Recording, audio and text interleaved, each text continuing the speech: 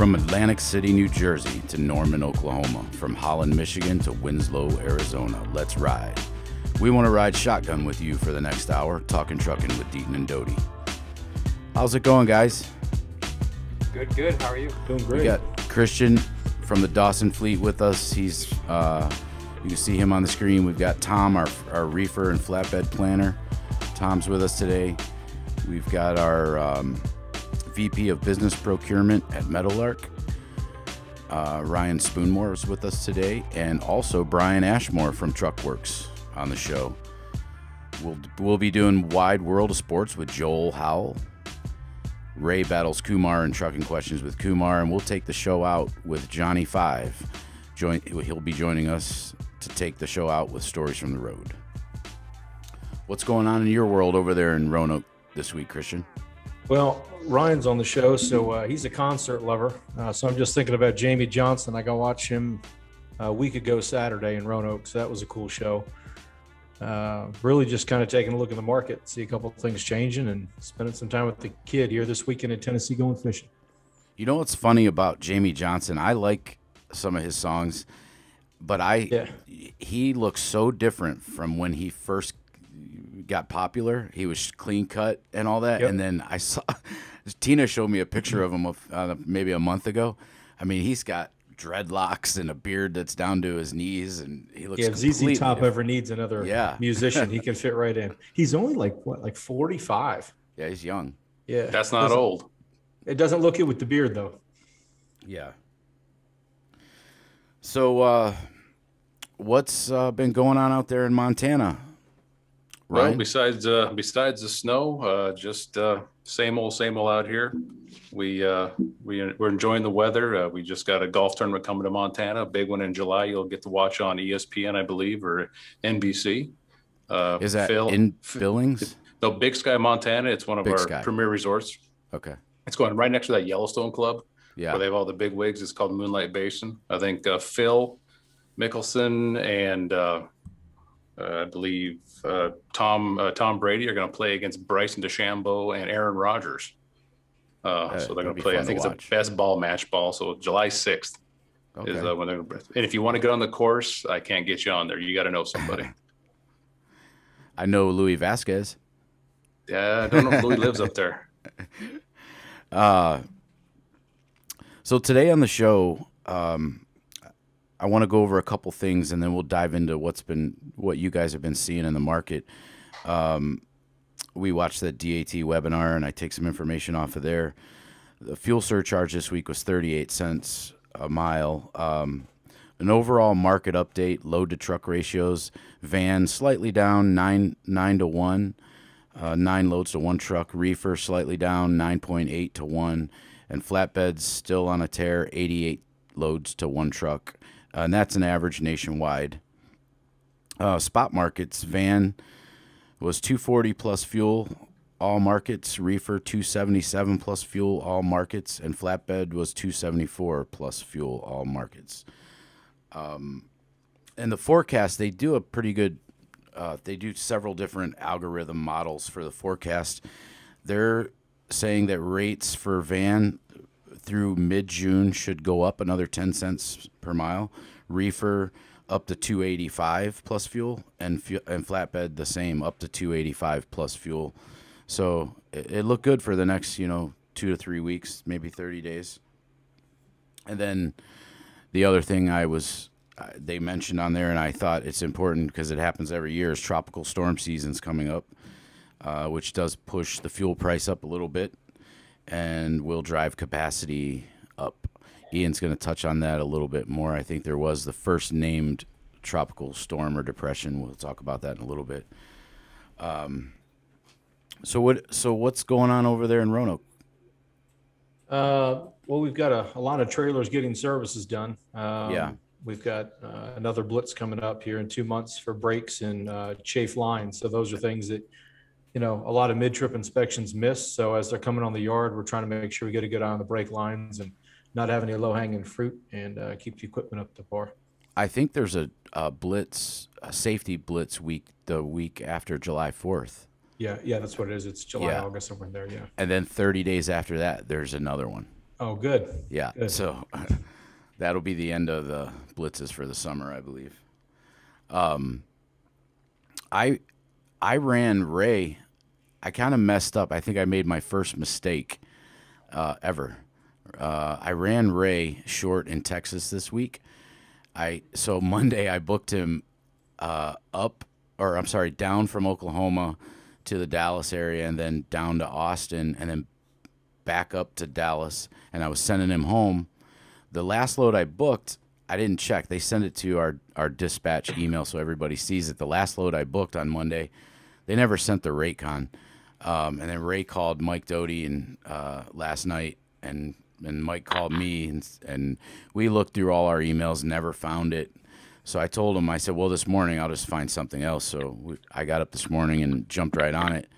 I, I didn't even know who I booked it with, I you know, and so I didn't know who to call. There was nothing. I had no notes. Yeah. So I booked another load at, at about eight o'clock. As, as soon as I told Ray, I called Ray and I said, I got you something else. He had to be home. It's his daughter's graduation party this weekend. I said, I got you something, man. He's like, uh, that guy just called me from the the company that I'd booked that other one with, and he he's like, he asked me if I was set for pickup, and I was like, oh no. Well, So- Interesting story, actually. Yeah, so I had to. I, I said, "Well, Ray, give me the number because I didn't. I didn't have their number." So I called the guy and I told him. I said, "Look, man, we've looked through all our emails. My whole staff did. I don't have anything. Maybe you forgot the CO at the end of Meadowlark. Maybe something like that." He did say, "Well, he looked at everything. He goes, we forgot to hit send. We never sent it to you." So I said, "Well, I'm sorry. I got to come off the load." And I hate doing that, but Yeah. it was one of those things. So yeah, my mistake for the week. yeah, it's an honest mistake. It happens. yeah. what What have you been seeing out there as far as the market goes out your way in Ohio? I mean, it's been, you know, we have trucks all over, so it's been a little softer than it has been lately. I think we're, I think we're seeing a little more capacity uh, in in certain areas because you know, we all talked about it. You know, the Blitz week really, there are a lot of carriers, you know, held back some trucks, so we're Yeah. getting all those trucks back into the market. I think, uh, so.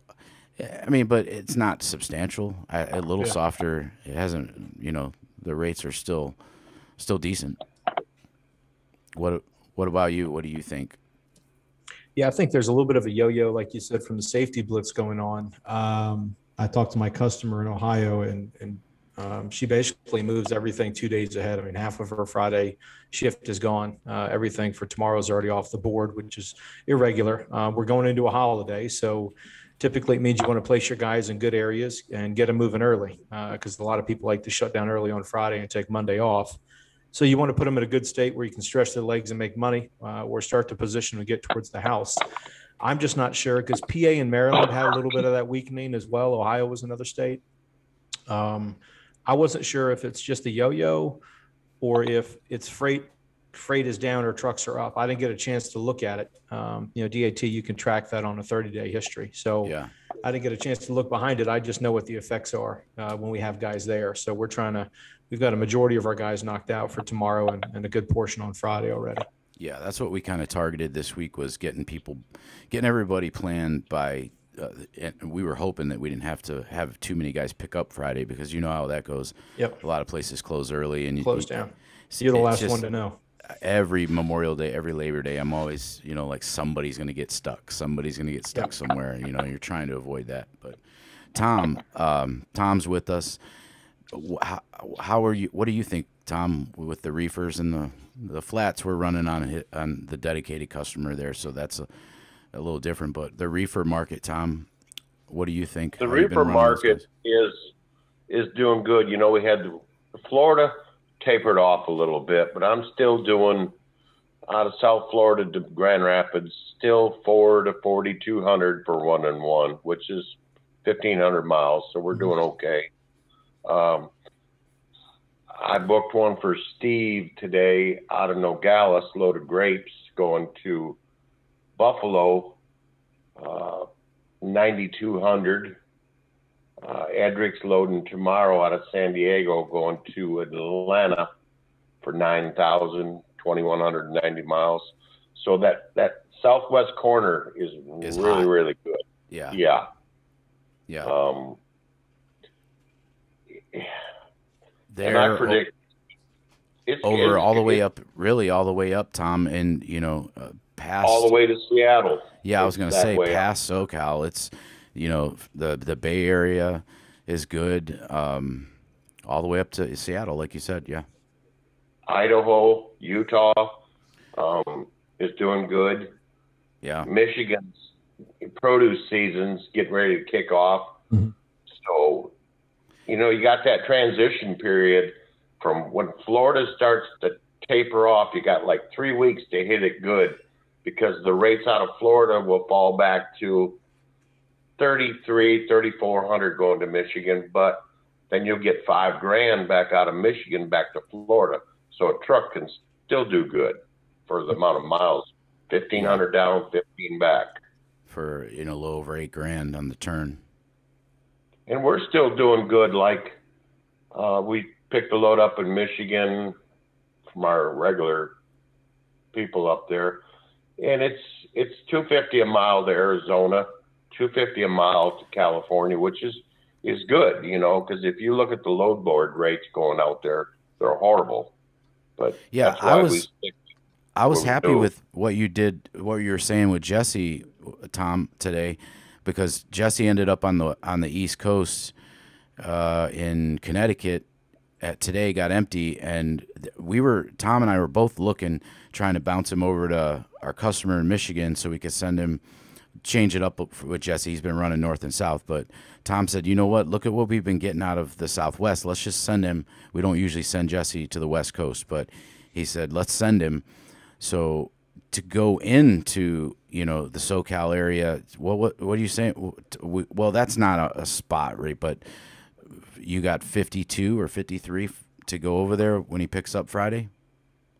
Yeah, uh, was fifty three for a one and one to 20. Riverside. Yeah, I mean you can't beat that going into South, uh, SoCal when you can get eight or nine or even better out. Yeah. And the drivers are like, "What are we going to come out of there with?" And I said, "Just put your trust in me because I've been doing this too long." And they're like, "Well, we get seven grand," and I said, "I guarantee it." Um, Tom's been doing this for ninety three years. He's feel 120 years old. So uh, and the, go the ahead, Tom. flatbed rates, the flatbed rates, usually out of North Florida, South Georgia, they kind of are iffy, but the flatbed rates have really come up. I uh, loaded one this morning going up to you to Warren, and it was three eighty a mile. And I reloaded them out of there going to California, and got eight grand.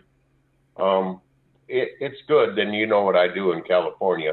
I get my Right. eighty two hundred back to Valdosta with my stuff, and so flatbed rates have definitely come up in California, especially. Anybody that's going to run out there with a flat, it was always iffy, but don't be scared right now because the rates are really good coming out and, of there. And it doesn't look like it's going to change anytime soon. I don't think so. No. Yeah. Um, if a 88 guy had loads to one truck is a that, that tells you the story right there nationwide. Yeah, it's Yeah. 42, 42 to 1 in California on flatbeds with 80,000 postings this month alone. Yeah, Yeah. And you, if the reefers, if a guy lived on the West Coast, I, I hmm. say this every year. If you lived in Arizona or SoCal and all you did is run I 5 up and down, the rates, you know, they're Nogales to Portland today, 5,700. It was, it was crazy. And, Yeah. uh, it's, I look for us all to have a big year, real big Yeah. year. Well, and if, if they're out that direction, they have a preference if they're listening between California and Arizona with AB5 potentially pushing through. Uh, yeah, stick with Arizona Yeah. and with the contractor law potential Yeah. change coming up. Yep. Well that that law doesn't affect us running in or out of there, does it? It's No, just if they live there. Uh, if if they Yeah. live there, but it's also they're looking at the liabilities to the carriers. Well, I'm not sure if you know Ryan has information or knows much about that. If he's Yeah, Read up I on think it. we're all a Liability, little bit. It's if you live there. But you know, It's if right you now, we're, we're, we're talking to our drivers Yeah. that we have out there currently in our network and like, you better get ready to move and let, or, you know, it's just one of those things. We Yeah, haven't heard on we- our traveling and so in and out of there, we haven't heard yet, but if you're That's what we Domiciled. talked about last week, Ryan. Um, you know, I think Christian has three guys that live out there, and we have Yep. one. Oh no, we have two, Tom, because Keith. I didn't know Keith is a resident of Yeah, California. Lodi. Yeah. Yeah. and then we got Mark Chavez. So we're we're, we're all trying to figure this out together. Um, but so just so everybody knows, joining us today, that's who's talking there with the uh, uh, the nice blue shirt on. Uh, joining us today from Montana, the vice president of business procurement. He's worked at Meadowlark for 24 years. The father of seven kids. Our very good friend, the deal maker, Ryan Spoonemore. Yeah, as I say, I started here with one kid and hair uh, 24 years ago. Uh, long story. Uh, me and my wife have six kids. We actually found our, uh, my wife had a child when she was 16, and we found him two years ago on Ancestry.com. and uh, a ble- I knew about it uh, when we first started dating, and that was the one piece we tried to find. So he is my son because he is a spitting image of my oldest daughter. So we have four boys, three girls. I've had uh, awesome. three of wait how many kids About four have worked here at Meadowlark in some capacity uh, soon to be possibly my fifth child come through here and you know get on the phone and start making calls talking to drivers carriers customers and just kind of see what they like and uh, luckily Meadowlark we have that ability in the summertime to let these kids kind of learn their chops and see if this is their their uh, you know career i've told my kids this uh, transportation is a wonderful career uh, especially drivers um, I, the drivers are our lifeblood and in the markets, you know, on the on the sales side, as I tell people right now, a blind squirrel can find a load. Uh, it's a matter about negotiating, and uh, you know, our drivers, we got to stick out there, and we're not sticking to these customers. All the rates are going up. We got to have conversations. Um, we're, you know, this this holiday week, you know, flatbed markets bananas. We're getting offered four, five, six bucks a mile. Just they're they're pleading for it. Um, you know, it's just a matter about capacity. You know, with our logistics side and our carrier partners, they're under the same gun but most of those carrier partners right now they all want to be home so long haul is the rates are spiking obviously that for this week and then we, we see it'll probably die down a little bit next week but we see a summer of a lot of capacity and we you know we just stick to our rates and take care of our customers have those conversations our, our drivers should be able to make some some good money and put money back in the pockets to the to the drivers that you know the people that deserve it they've been busting their butt for the last year and a half through covid and uh, it's time Yeah. for that uh, we reward them Yeah, and we've been talking Ryan a little bit about uh, tender rejections with Christian. He's he's really got into detail with that the last few weeks. Um, h- are you seeing any of that? Are you guys having to give back? You're you're on the brokerage side. Are you guys having to give back any uh, any low tenders? we're seeing some obviously on the contract side you know you, you got some contract rates from heck two months ago we're seeing a little pushback but most of the customers that we've stayed in front of and warned them they're very flexible there's some customers that you know they want to hold your toe to the line but you know a lot of them we weren't the primary we were the secondary but then they want to flex on us and say hey we want you to do this well the market changes um, but no, we we watch those tenders. Spot market, obviously, these you know everyone gets delusions of grandeur. I can make ten thousand a week, which great, do it now. But long term, if we can get these customers to realize, hey, bring your rates up. Let's take care of these drivers, get them the miles. Yeah, Um, we're seeing you're looking at six or seven thousand average. You better be grossing out there for drivers uh, for van. oh for sure.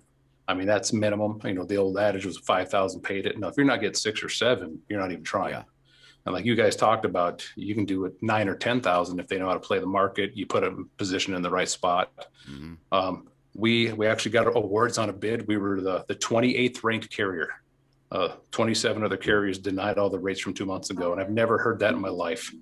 As the tw- you know, so that was a, a large shipper that came to us. They've never really talked to us. Now they want to be best friends, but we're able to you know, with our uh, some of our trailers, uh, with our platinum trailers, where we load our trailers and have uh, carrier partners or our agents or our drivers pull them. Yeah, Uh, we've been able to give them some capacity. We're But, doing uh, some of that with some guys on yeah. our fleet. I know Mike Doty's pretty involved in the in that pool.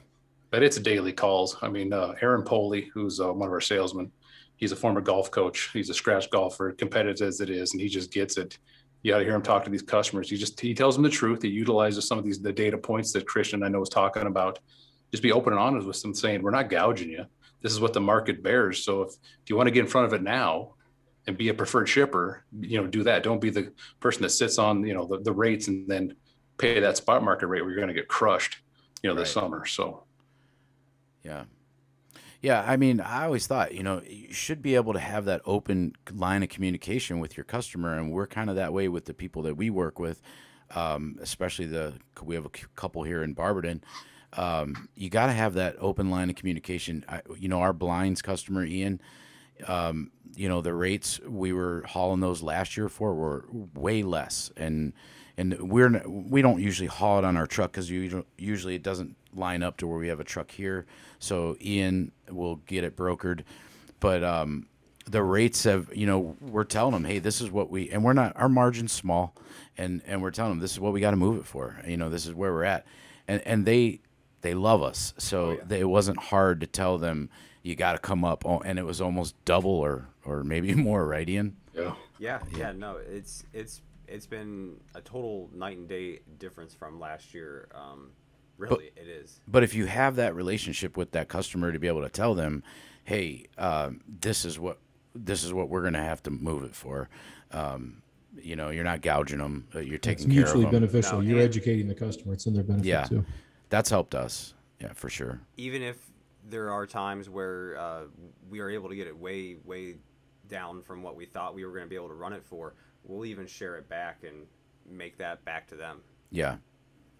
Yeah. So, what about? Uh, are you seeing the same thing, Christian, with your customers? Uh, I mean, are you able to talk to them? And I am, yeah. Yeah. Um, so we have uh, a large protein customer. Uh, we bumped the rates. We just put another bump in today, so we hopefully we'll hear back here in the next 24 to 48. It's one of these things that uh, e- whether it's it's an outbound market on the logistics side or on our own assets, it, it really isn't different because the cost is what it is. Um, you know, sometimes explaining it's kind of like buying seafood at the right time of year. Uh, it's going to fluctuate. We also saw it here locally in Roanoke. We had a meeting, Amanda and I did locally with a, a duck supplier, and it was a really good relationship. And it has been for the last six, seven years, uh, and they get it. Uh, it doesn't mean they like it, but I think having an honest approach about it and letting them know where it is and let them know when the market corrects itself. Um, like you were saying a second ago, hey, you know, we'll make sure we correct along with it. Our goal isn't to double our margins while we're in business. It's just to Right. make sure that we are here to provide a business to you in the future. right, we have equipment, and we, you know, we want to service the you know our customer, but also you know we can't you can't lose you can't lose money doing it. I mean, that's that's why it's so important to have that relationship where you can talk to them. Yeah, and I'm just glad that guys are starting to find the value of commercial truck drivers. For so long, they say, well, there's a shortage, and you know, the changing of the guard, the old guys are leaving, and new guys that aren't experienced are coming in. I mean, you hear a lot of that through recruiting and through the development of this industry. Yeah, I think now there's a validation that's going on that says, you know, timeout. We do need these guys, whether they're box truck drivers, whether the driver unload, driver assist, flatbed. Um, I think there's a different understanding. As funny as it sounds that a winter storm across the whole United States could change capacity, I think it shows you how delicate the market is, is and how valuable these trucks and the drivers are. You know, I know Meadowlark's position as well as yours up in your terminal and ours, uh, they are. It's, you know, um, job responsibility um, for their satisfaction is job number one. And Yeah. that doesn't change. But it's nice to see it's a more global impact. I mean, it stinks that it happens and rates are going up because it typically means the cost of goods are going to uh, rise a portion with it. But um, you know, fuel's going up. We need to cost for that as well. Um, we can complain about it, but it's here and it's here to stay. yeah, and like I mentioned, Ian's going to go over a little bit about the tropical storm season. Okay. But, um, every time we get into that season where we're starting to see, you know, tropical storms, you know, hitting the United States and hurricanes and stuff, fuel goes up. So we're the fuel's not going to not going to go down anytime soon. Yeah. Um, uh, we know that. Um, so it's just it's part of it, I guess. Um, We completely lost Ryan. Up there. yeah, there he is. Welcome back. He took a quick sales call. No, we had Yeah. to we had to we had to recharge the meter real quick, hand crank it. So yeah, so we're good. So Ryan, why don't you tell us a little bit about you know date you know what's going on out there at the corporate office? What are you doing um, during the day? I mean, I know you got a bunch of people under you that are moving freight, and um, just kind of take us into that world a little bit. Well, my my team, I've got both the carrier and the customer sales side of it. Um, like I said, the customers, the customer sales side, it's it's a daily, you know, RFQ phone call looking for. As we're seeing it, everybody needs the long miles. The the, the home time loads are all covered. They got that taken care of. Long haul over the road. That's what they're all dying on. Anytime they tell us about their their lanes or the routing guide, they're like, "Oh, we, we got that local Texas, but if you can do," and they just name points galore. Dallas, Texas is one of them right now. Everything locally in Dallas, Houston, no problem. But Dallas going everywhere outbound, they need help on it. Um, and we kind of watched the mothership down there in that little town, of Arkansas, called Bentonville. Yeah. And you, you know, you watch their spot board. I mean, obviously they got more more freight than you know, anybody, and their Yeah, spot the board, world headquarters of Walmart. correct. Right. So, uh, so you watch their spot board and the money they're offering on spot. I mean, they're going to kind of dictate the market. If they're out there throwing four bucks a mile out, and they got all the freight you want, so we got to kind of watch what they're doing because they can't miss their deliveries. Right. Or me and you, or me and you are mad because we can't pick up our, you know, whatever we need to buy. Uh, the carrier sale side of it, same thing. The carriers we talk to that want to, you know, team up with Meadowlark, pull our trailers. They always want that home time, which you know it's very important to drivers. So you know, you guys have discussed in the past that that difficulty recruiting drivers for long haul that are away from the house two or three weeks. So that's why the long haul rates are going to have to go up because you know money talks, but we also got to take care of them. Uh, you know, Right. better truck stops, better deliveries. Uh, don't be a customer that has poor deliveries or difficult, or you'll price yourself out of the market. Uh, our drivers talk, our carriers talk, uh, our marketing teams out there. Uh, I'm over the marketing also. We're marketing out there to to our to drivers, to carriers, and customers, and everyone's all in the same boat. It's it's communication. If we all just communicate properly, but uh, there's some desperation out there.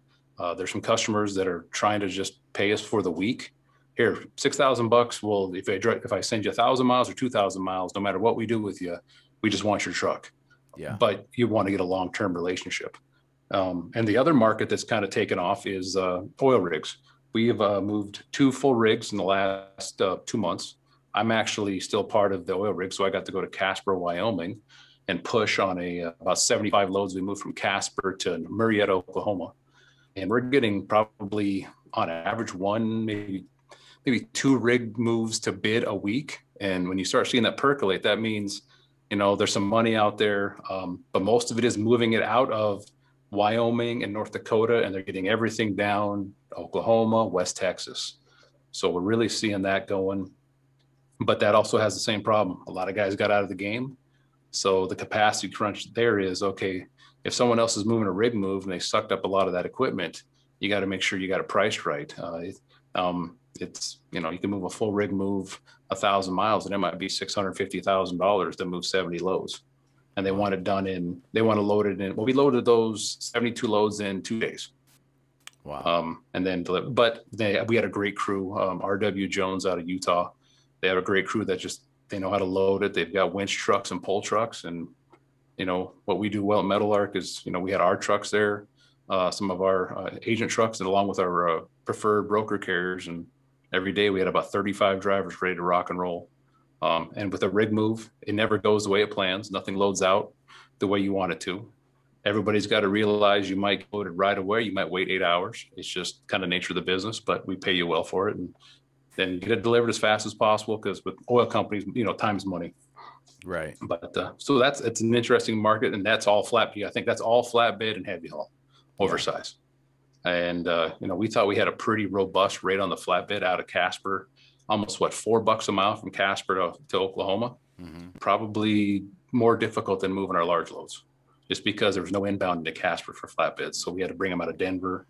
Um, so that that flatbed market is definitely i mean out of casper wyoming was always a dead dead spot. I mean I, four bucks a mile is a pretty good rate right now for a flatbed out of there but Yeah. um, and then we- 211 loads to truck ratio. Yep, it is. It's it's That's a it's, crazy. and it's just nothing coming inbound. Um, we the flatbed market out of Texas to Utah, um, seven thousand dollars from Houston to Salt Lake is what we're getting. A customer actually came to us and told us, uh, "You're not charging enough. I need to pay you more money." They couldn't cover them, so they gave us. They said, "Just charge us whatever." And we're now now moving two a day for them instead of two a week when she couldn't handle them. So we stay in front of the markets. Um, you know, uh, up here in Billings, we're continually, you know, hiring drivers, you know, helping out our agents uh, with our over the road apparel, you know, getting that out in the market also. So it's a, it's a fun time. We're getting more involved uh, with, you know, Mandy being over everything. Uh, we're trying to, she's going to Dallas for three weeks with her kids. She's doing the combination, uh, you know, sales trip slash, you know, be a mom. but Mhm. uh, she wants to get out there, and it's it's kind of interesting. Texas being an open state, uh, most customers are still under the guides of their corporate office, where they get they won't visit with you. Um, so that's interesting to get some of the appointments out there. They all want to talk to you. They all have freight to give you. They just you just can't walk in their doors. Yeah. But uh, but carriers are willing to meet with us. That's how We're it see- here in Ohio because Jim Stonkus in our office, you know, with just like everybody else, he had to stop visiting. He was taking gardener pies to companies, and that's a big thing here, and you know, dropping stuff off, and and then all of a sudden it shut off for a year. Uh, June second, it opens up. We won't have a mask, man. We don't have to wear a mask after June second here, so we're all excited about that. But Jim mentioned that the other day. He's like, finally, I can get back out there and just you know knock on some doors, some companies around here, because it's tough when you can't. You know, it's hard Yep. when you can't do it face to face. And we're getting now, uh, even in Texas, a lot of them said uh, August 1st. We all heard about July 4th. You know, that was the big date. You know, Yeah, um, we thought Texas being so open, they're still, and the, they're basically mandated by their corporate office, which is normally not in Texas. It's probably up in the, in the East Coast, a lot of places. that makes I get it. I understand that. You know, if you're an office of a thousand people and we all decide to go down and see, you know, a hundred of us walk through the door, I Right. get that. So, um, um, GE, uh, we met with those guys, but they can only meet off campus and they haven't been in the office for a year and a half up Yeah. in Louisville. You know, Mhm. Louisville, Kentucky being locked down, that was uh, interesting compared to going to Indiana. And me being from Montana, I can walk into any Walmart, any Walmart without a mask on, and I, I got, I got accosted by the lady at the front.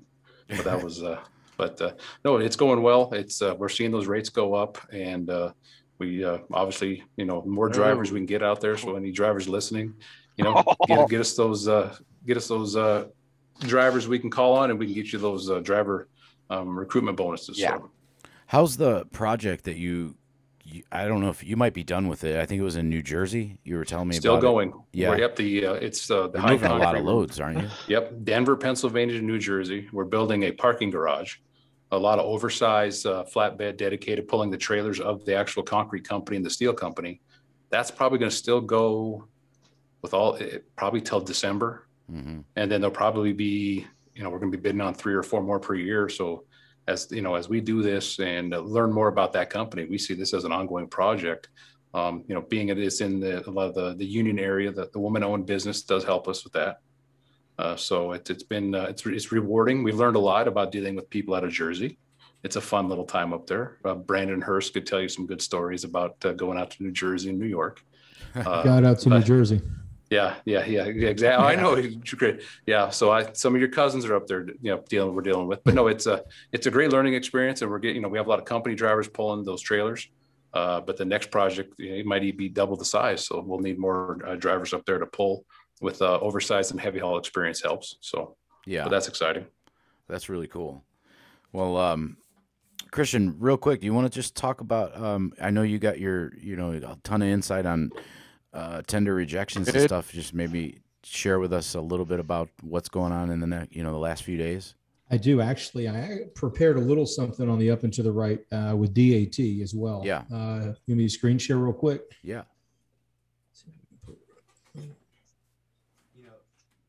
All right. Should be good now, right? You see Yeah. the up and to the right? Okay, Yep. cool. There we go. So DAT rate view is something that Meadowlark does provide for us here uh, as an opportunity to get actually with rate view, not just DAT, one of the basic uh, pieces of it. You'll find when you go to the rate view section, or uh, I guess it's power.dat.com, you'll have a little briefcase up here. And when you have it, you'll see lane maker, market conditions, and a lot of the things that we, some that we have covered and some that we will. Uh, and then there's a little rates button up here. What you what you won't see on this is the hot lanes and hot states. But once you click on the rate view and you go back over to the briefcase, the hot states tab pops up. And so that does something different than your trips and your multi-lane and regional data. What it does is it gives you a view and you can change the different equipment type and you can change what month you're looking at for trends. Um, so similar to how Tom was saying, Florida was starting to lighten up, you can look at the actual load postings that they have by month. And it's kept up to date week by week. Um, so this posting update was on 524, so two days ago. And you look and see that they have the state name here, they have the total posting volume, and then they have the load to truck ratio.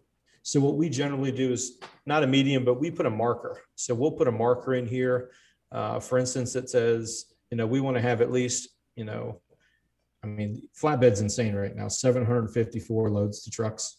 Like you talked about, Ryan, with Wyoming, uh, it's only got 19,000 loads. So you're absolutely right as far as the loads. Uh, so it's not drawing much, which also raises the index of which, you know, your capacity for load to trucks, opposed to, you know, Arkansas that has 206,000 load postings uh, for the month. So if we move forward to something that I'm more familiar with, which would be reefer, uh, what we do generally is look at this and say, okay, if we drew a proverbial line that we're comfortable with, which is eliminating two thirds or three quarters of the lower states, which states would we have a preference to drop in? Which ones have a huge load to truck ratio, which is you know controlling the volume of, of loads to trucks. Uh, but then we also want to look at the posting volume, which talks about the actual activity because it, there can be a misnomer here. I mean, you might see that New Mexico is way out here at 36 loads to trucks but it's only 5,000 loads. Right. Um, you know, by the way, it doesn't mean that surrounding areas like Arizona doesn't have 44,000 with the 32 ratio. So if I'm dropping in one of those two states and I can get the same rate, I can tell you where I'm dropping all day long. So we look at the states, we kind of pick the top 10, top five, whatever you want. Uh, we look at the total volume and then we look at the ratio. And so this, I just use 18 as a pinpoint. So anything under 18, I'm not looking at for dropping people in these states. And then we'll do the same thing with dry van. Dry van's a little different. And you can see we had ratios that were really over on this engine of the pendulum to the right, and it swung way out for, for flatbed. It's still out there for reefer. And then as you start to come back towards dry van, and as we saw with FreightWaves last week, with the tender rejection slowing up a bit, uh, that's also going to change some of the ratios. A lot of that has to do with how many pieces of equipment are on the road and what the ratio, uh, the mixed pool is between equipment types but this is the exact same thing. So if we pull up, you'll notice that the van and reefer um, are fairly similar to each other. New Mexico, the same thing. Uh, in this particular case, 9.31 is the load ratio with 6,000 loads, just like we saw on the reefer side, how it was one of the lower states, even though it contested to be a higher ratio mix. Uh, and I think that's the dangerous part that when some people look at the analytics, they say, oh man, you know, you know, look out to New Mexico. If I get out there, you know, I'm going to get a bang and load. And then you find out you have to deadhead 400 miles to pick it up. Um, you know, if, if I'm selling it as a broker, then I'm saying, hey, you know, take a look at the DAT index and see if you like the ratio. And if they have a, a load or a customer coming out, then you can sell it on a good side. Um, but with Alabama, Arkansas, Arizona, California, I mean, you start looking at the volume of postings just in the month of May and then you look at the ratio. So this is just another tool that we use DAT. Um, yeah, like, like I said, that, that is California offered. and, and Georgia, 130, mm-hmm. 137,000. 137,000 in Georgia. I mean, if, if we looked at this and I can pull up last month uh, later tonight and get with you, um, that we'll see that that bleeding from Florida coming up the coast. Yeah. And, you know, let's look at this. Let's revisit this in, in three weeks. Look mm-hmm. at where Michigan's at with 33,000 loads. I bet you three to four weeks from now, it's probably going to be 55 to 70,000 loads. Yeah. And so it's just, That's it's another trend. Us. It's another indicator. Absolutely. Yeah. Um, you know, what Tom predicted last week, which we saw the week before uh, through FreightWaves is yes, there's the rejections have dropped uh, significantly out of Florida. They have raised out of Georgia. I did not uh, put the information on here. Uh, but if I'm running a triangle, I'm running it from Kansas up to Michigan, back down to Tennessee, Alabama, back out Midwest, and back up again. Yeah, uh, I can drop. You can drop in Texas certain days, and it's great. Um, I typically would drop in Texas on a Monday after everybody else left if I was going to do it. But yeah, Dallas, like else. the big cities in Texas, seems like with Dallas, Houston area, just there's a lot of capacity there. Mm-hmm. So I think even and there is a lot of freight, but it seems like uh, it kind of balances out well, so it keeps the price. Uh, it's hit or miss, but it does keep it a little bit lower than. Right. Yeah. The know. spikes spikes don't draw out quite as much. Yeah. Yep. Yeah. So I'm not sure if you guys use that or if it's helpful, but uh, for anybody that's checking in, I would not just go with the uh, the state to state uh, indicator on rate view. That's something that I would look out. Yeah, let's look at that again in a few weeks. Let's let's okay. look and see you know how it compares to what we what we see now. Okay. Um, Joel, are you ready? Update us on the sports with uh, Joel Howle? Yeah, are we changing gears? Yeah. All yeah. right. Well, Ryan and Christian, first, thank you. I learned so much every week uh, being from the recruiting side, uh, even though I was a dispatcher for a while. Uh, in sports this week, what do we got? Around the league, in the NFL, the big news this week was uh, 28 stadiums are set to be in full capacity for the 21 upcoming season. Oh, so they're gonna so no spacing, no cardboard cutouts. of- right, right, yeah. right. They're they're starting to lax on that a little, and That's we don't know which ones, but uh, 28 stadiums. Uh, Rodgers still looking to be 60-40. Uh, 60 not being in a Packer uniform on opening day. Uh, he's gone. I think that's what we were talking about before the show. I think he's going to the, the Raiders. Uh, the rumors I'm Denver, okay with that. but uh, we got to make room for uh, Bridgewater and Drew Lock. So And Blake Bortles. yeah, Uh, Bortles. It'll yeah. be it'll be crowded. And the latest on Deshaun Watson was a a deposition to begin in early 22. yeah, he might be sitting out.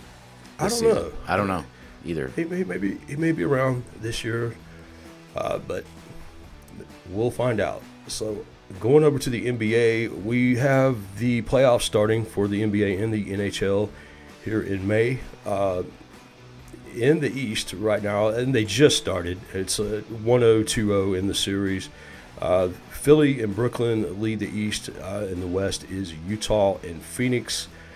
Uh, they have begun. There's four other teams. There's eight total, and we'll give an update next week on where they're at. They're just in the first round. Same with the NHL playoffs. They have 16 teams in the NHL. So there's a lot going on. They have four from the East, Central, West, and North. I mean, Pittsburgh, New York Islanders, Boston Bruins, Washington Capitals. Uh, we'll get back with that next week, too. Uh, that should be down to eight teams next week. Over in Major League Baseball in the East, still leading is the Tampa Bay Rays. Uh, that is a tight race, along with the Central, the Chicago White Sox, and Cleveland Indians. And out west, we have the Oakland A's. In the NL East, we have a tight race between the Mets, the Braves, and the Phillies. Over in the Central, same with St. Louis. And out west, a tight three way race between the Padres, the Dodgers, and the Giants. So Joel, I got to ask you this since uh, we got Bryan Ashmore on the phone. Bryan's in uh, Dothan, Alabama. He's from Truckworx, and he's going to get on here and talk with Ian for a second about the market of trucks. But Roll Tide. we're trying to figure out, Bryan, uh, what roll tide means. And I've had a couple of drivers text me after the show. We mentioned it last week. Um, you got any insight on that, Bryan? I actually do not have an insight on that. I'm not a big Bryan's an Auburn fan. answer that question.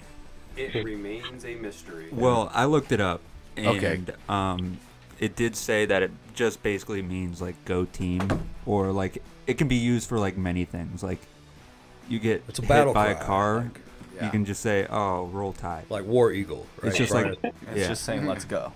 yeah, basically Like, it's like let's go. basically an anything word. Yeah. yeah. Okay. Well, It does last- get used quite a bit down here, though. Yeah, it's all over Alabama, and it's used I in like my the office. barking and it's barking Joel's- in Cleveland. Joel's from Al- Joel is an Alabama fan. He was born that w- down that way, well, so uh, Georgia, but I, yeah, yeah, on the line. Yeah, my parents are Would you big say he Auburn was, fans. he was so born that way?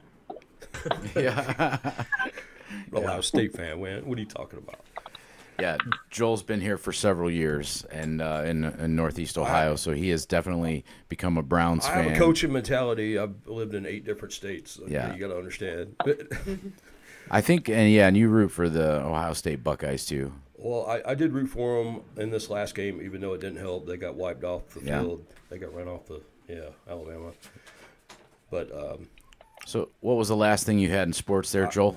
We're going to talk about Phil Mickelson's victory in the PGA. I like him Tour. behind you on that with the laser eyes because um That's right. yeah I think that has something to do with Bitcoin going up and I need it to go up because I took a beating in two weeks on my Bitcoin. Well, Phil dropped out of the What's that top got to do with sports? 100 Well, it's because it's Phil. before winning this last major. So if anybody had any money on Phil, they're doing pretty well right now. What were the odds on him winning that? Two hundred to one.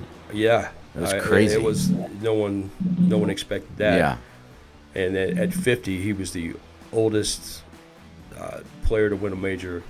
yeah. And, Little uh, known fact: me and Phil have the same birthday. Yeah. nice. June 16th.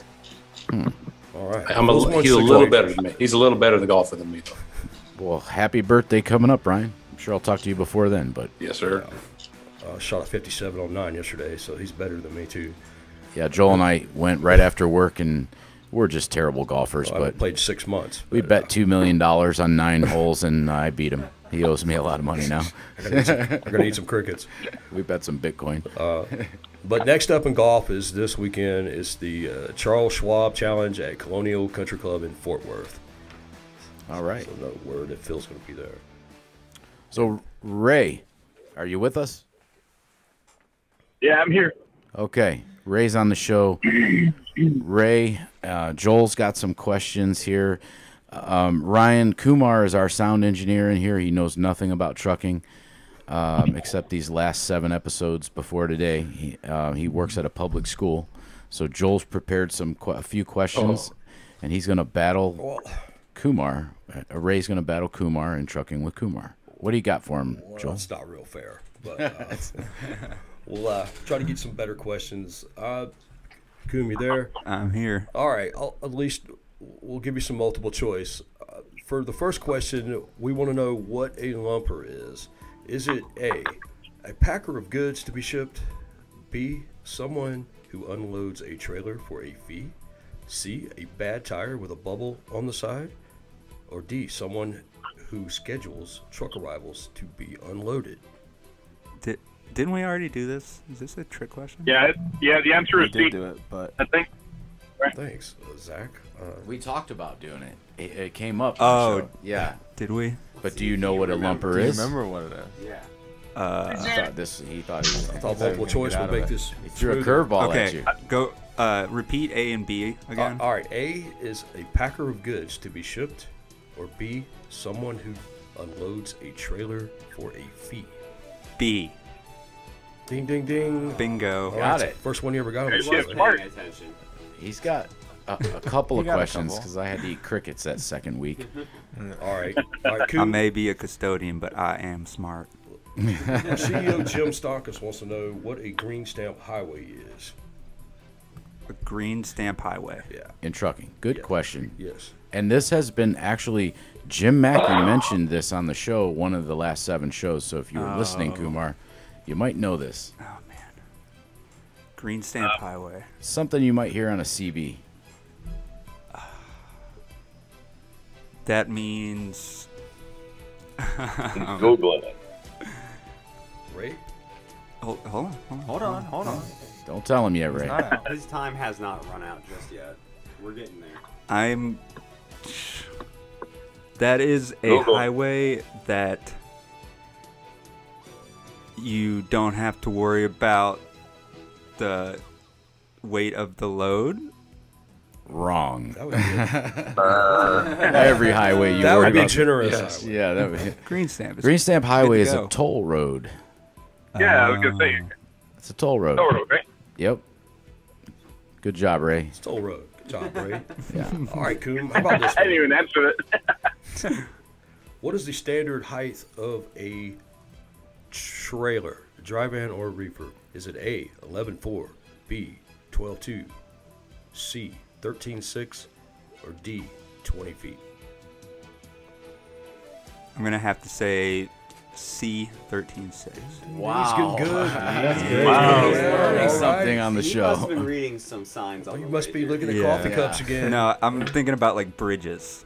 I think that probably Yeah. helped me a little That's bit. next week. All right, we we got time for one more, Russ? Yeah, there was. This was a cool one. I J- Joel mentioned to me the other day. So let's do it. All right. Kumar, multiple choice. Who invented the first 18 wheeler? Was it A, Alexander Hamilton? B, Alexander Graham Bell? C, Alexander the Great? Or D, Alexander Winton?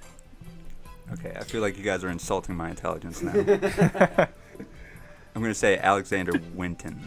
Ding ding, that is correct. Wow. Alexander. Yeah, doing good. I, How- I agree with Is that. that a guess? Alexander the Great. Well, process of elimination. He must have heard that one before. Yeah. I and the- actually, I actually didn't didn't think that it was the other three because the other three did something else. So that was that's the only reason why I went with the last one. Alexander did great. Did something. What was really cool when I didn't know this either, and, and Joel showed me on Wikipedia.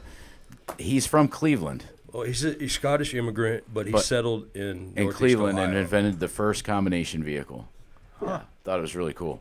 Yeah, way back in the early 20th century, he uh, 1898 he needed a combination vehicle to. That's when Tom was born, wasn't it? Yeah, I think Tom, Yeah. around that time. he booked his first load. Do you know him, Tom? Tom was in the black and white picture on Wikipedia. Did you see him? All right, so Ian, All right. what's going on in the wide world of trucking news? Well, not really too many news stories in the news. Uh, they're still working on the bridge down there. It's creating a log jam still. Uh, they're they're really trying to now figure out who's gonna pay for it. Um, they're trying to figure out the state or the federal government or the city. Uh, they're all pointing fingers elsewhere. Um, so that that's going to be a problem for a long We time. are. I see. Um, you already touched on it, but the first storm of the year, first named storm, um, that is 10 days early than than on average. Um, What was the name of it? Anna, Anna is our first storm. Tropical depression, Anna, or is Uh, it a storm? Tropical Lake storm. Anna. Oh, okay. Yeah. Um, there's usually 16 storms a year, or Yeah, last year was way more than that. I was gonna say it was 30. So Yeah, double. get ready. It could be another crazy year. Um, that of course could mess with the fuel prices.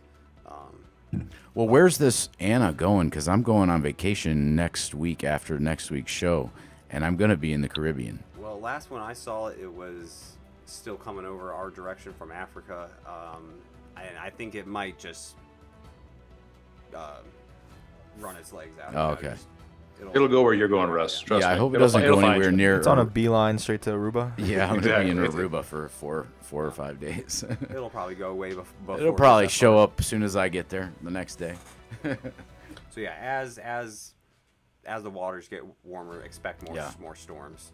Um, you already touched on the blitz after the f- week of the Fourth of July. Yeah. Uh, other than that, not too many news stories.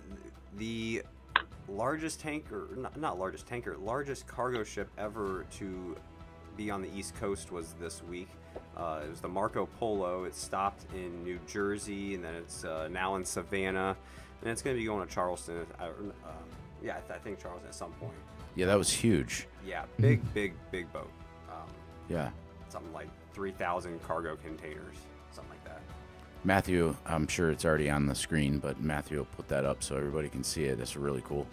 Yeah, it's about 13,000 feet though, so or 1,300 feet long. Wow, So thirteen thousand feet long. That'd yeah, be that'd be a crazy. pretty, pretty enormous. So, uh, Bryan, um, I know we talked a little bit last week about the the used and new truck market.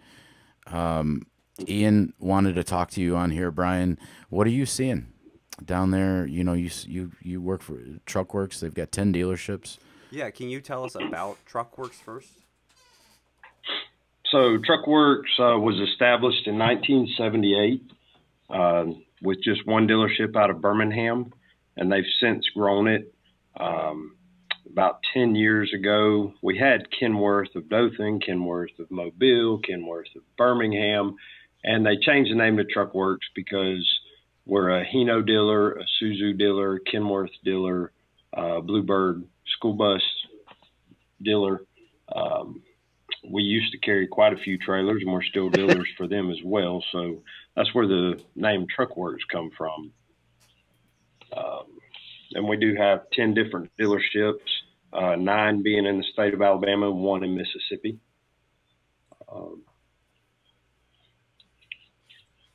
You're looking for the used truck market or what you Yeah, yeah. Can you tell me about the used market? I mean, is this a good time to buy a, a used truck, or did you already miss the boat, or should you should should you wait a while? What what would you Uh, say? so the used-? So the used truck market right now is um, the value is going up, uh, and they are hard to find. Where new trucks are getting taking they're they're slow coming in right now. Uh, there's a lot of shortage of supplies on the new side, so we're our inventory is very slim with all of our dealerships right now, as with all of our competitors as well. How many used Um, trucks do you have uh, uh, among all ten dealerships, Bryan? We have 17 on the Class 8 side right now. How many Uh, Dora the so- Explorer lunchboxes do you have, Bryan? and slim on the Yetis too. Yeah. Who is Um, buying trucks really? Uh, the market's hot right now. We we're lots of people are calling, and I'm listening to you guys talk about the rates, and everybody wants trucks right now. And we've uh, kind of looked out into the future, and we've bought a lot of slots, if you will, uh, So kind of pre-bought them. Pre-selling stuff, new stuff. Correct. So we, we buy slots and then we can uh, do a change order and kind of fill in that slot with to meet your needs. Uh, but right now we're almost sold out for the year. Uh, we just bought some more slots the other day, but I think that's going to wrap us up. Um, it's getting tight right now, and and the used trucks, I guess everybody's holding on to them. They're they're very hard to find. Um, very few in our inventory, and the same with uh, on the medium duty side as well. We're we're short on them. It's just I think there's a shortage shortage of supplies. I know a lot of electronic parts um, are hard to get a hold. of. I think that's holding up production somewhat. But we're still pressing forward. We're doing everything that we can. We've got a good team in place, and you know, looking looking further than just today, and helping setting us up and doing everything that we can for our customers to keep them rolling. Yeah. Um, I know Doty checks your website all the time to look at what's in inventory in your used trucks, and, and like he said last week on the show that it, you know it's like there's just nothing. There's nothing there. Uh, Very few trucks. Um, does your you guys have a buyer, Bryan? Does do they like go to auctions and look for equip you know used equipment? Is it is there? I was curious about that. Like with the big truck auctions, is there stuff available? It's just that it's bit it's it's going for such a high price that you know you kind of shy away from it, or what? I, I think so. I don't I don't dip into that too much. Um, we do have a couple buyers here at the company, and and they have contacts all over the U.S. really, um, and they try and buy trucks, but they're just slim. And I think with the value being high right now, it's a little scared to maybe bring them into our inventory because you know You sooner or later I, with everything, Yeah. the bottom will fall out, and you'll be standing there with a bag. So. Right. Um, but we are trying to get more used inventory. We've got some day cabs in, but it's you know on the sleeper side, it's it's tight. It is tight, and a lot of what we're seeing. I tell people this every day before we see it on our list before the truck comes in, and a lot of what what we're seeing will sell before it even hits the ground. Um, the market's hot. People are wanting trucks, which is great, but it's it's hard to fill their needs right now. Yeah, I mean, I want a few more trucks. I think Christian probably wants some trucks, but it's just it's hard to pull the trigger when first of all there's no inventory, and and then you're gonna pay through. You know, you're just gonna pay a premium for it. Uh, you know, on the used truck market. Um, Yeah. And Bryan, I- I'd love to know what the prices look like next year. I know we talked about the trailer prices going up from a 33 to 37 to over $40,000 spec. And I'm not sure if you guys are hearing anything in the pipeline for next year. I mean, obviously you're going to start grabbing slots the next year and what the next three months. We will. We're we're we're looking out into that right now. Um, and there's and and the price is going up. Of course, you dip into a new year model. Uh, the sleeper side, the 680s, you're going to the next generation truck, which is a little bit of a price increase. And there's some steel surcharges coming along. Um, you know, kind of getting hit every which way with it, but uh, it's what it is. I mean, it's it's the market right now, and you just got to keep moving forward. Yeah, and I, I think that's the one thing that a lot of the general public's not aware of too is there's a lot of other charges going up. We had that vehicle mileage tax that's being proposed. Um, you know, I know there's infrastructure bills and everything else to help offset for some of the the supply side, but Bryan, I mean, we got the steel tax, Uh, used vehicles are up. Um, I mean, what else are you seeing on the new model trucks uh, that's going to be adjusting that price? So you said a generational jump, right? I mean, at least you're at least when you're paying more money, you're getting something for it. Correct. Uh, getting a new a new year model, the steel surcharges um, that they're tacking on to us right now.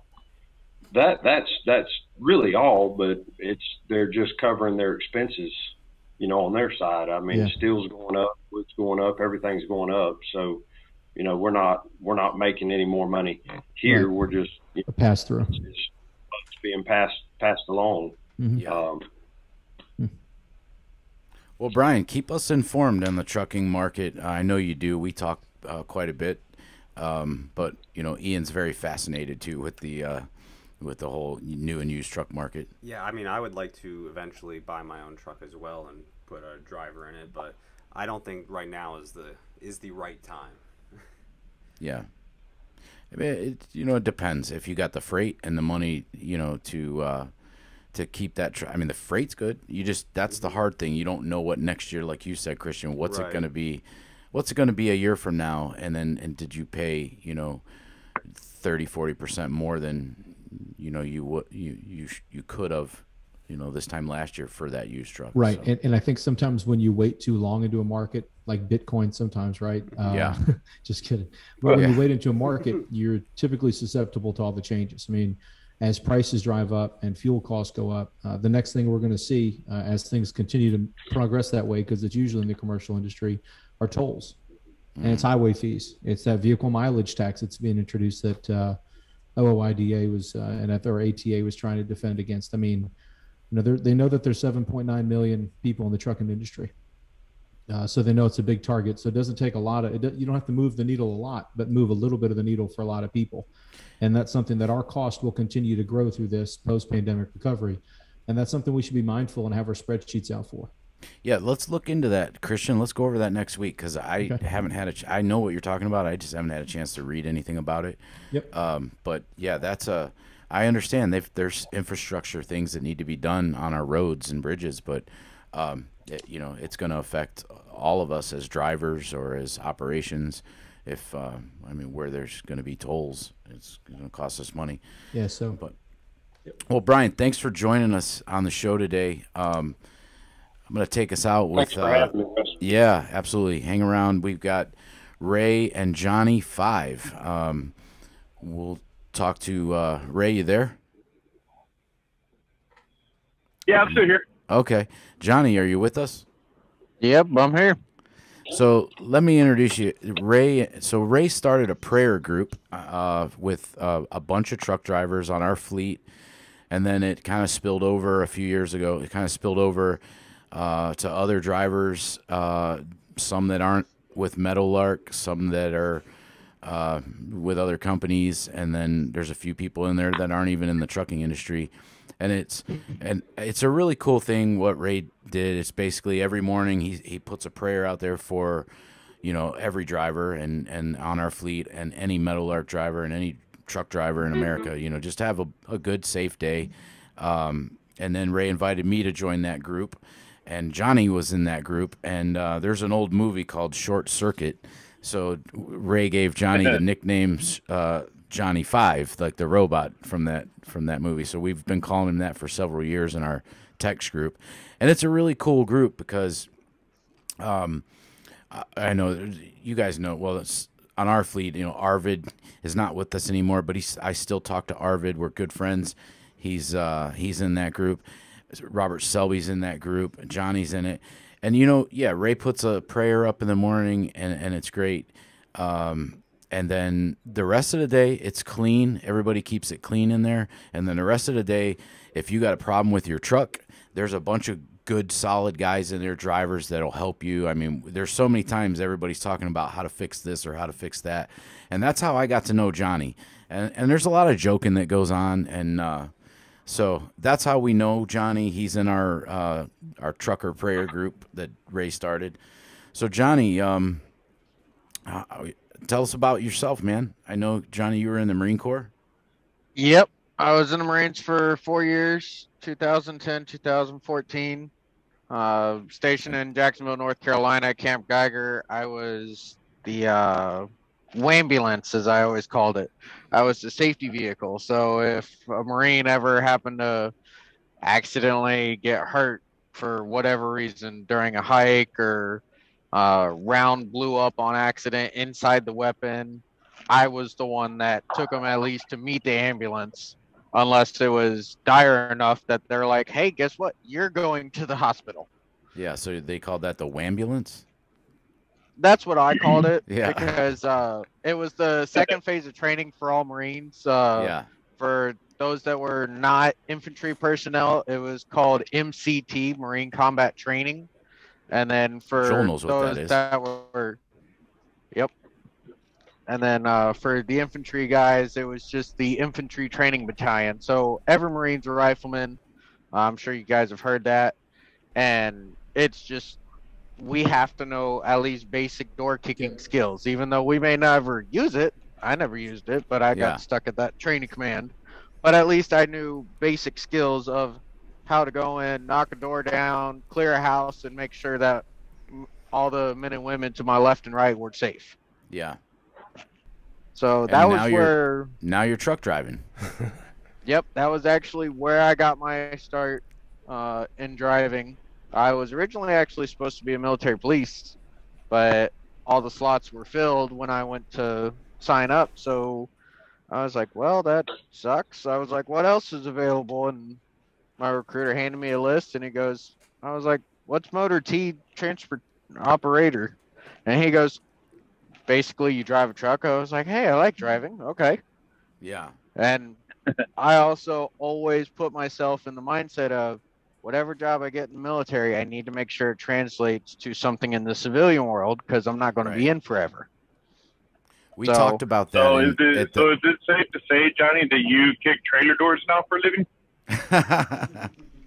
Well, not with this low boy. I mean, with with that dry van and the reefer that I've Oh, played you're around pulling a with. low yeah. boy now. Yep, I got a low boy Yeah. now. I we talked about, about It used to be. Yeah. We talked about at the agent summit, Ryan, if you remember, because I asked to our insurance agents about bringing guys that got, you know, training in the military when they get out to, if we, you know, if we could look into having a training program um, where we could bring those guys on and, and get them trained for, you know, civilian truck driving.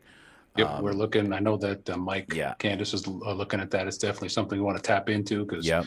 they get a lot of great uh, experience out there. Uh, and we definitely want to, if we can make that happen, we want to utilize them because Yeah, even the insurance guy, uh, what's his name? Hurricane, Hurricane Skip. Yeah, Skip. Yeah, Hurricane Skip. I like that.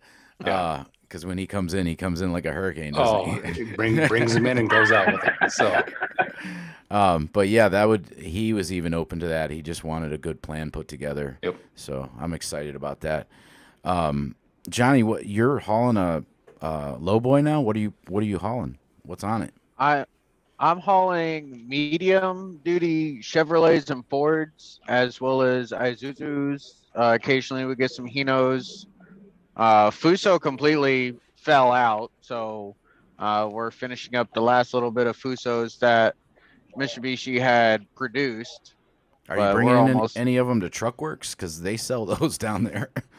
You know, Please it's bring us some. We actually it's actually hilarious. So the trucks that Truckworx gets actually come out of Montreal, and I had picked up uh, before I really started listening to Talkin Truckin with Deaton and Doty. And by the way, howdy Doty. but he had some uh, technical difficulties. He he couldn't get it hooked up today. So Yeah. But I had actually gone to Richlands, Mississippi for Truckworx there and Truckworx in Birmingham. Uh, I think it was that was two weeks ago. oh, so you dropped off there? Yep. Well, that's a And I thought about was- that. Yep, it was uh Kenworth for each of them, and I went over to Peterbilt in Pearl, Mississippi, and dropped off a, uh, a Peterbilt for them. Uh, probably going to get turned into a dump truck or some type of city vehicle.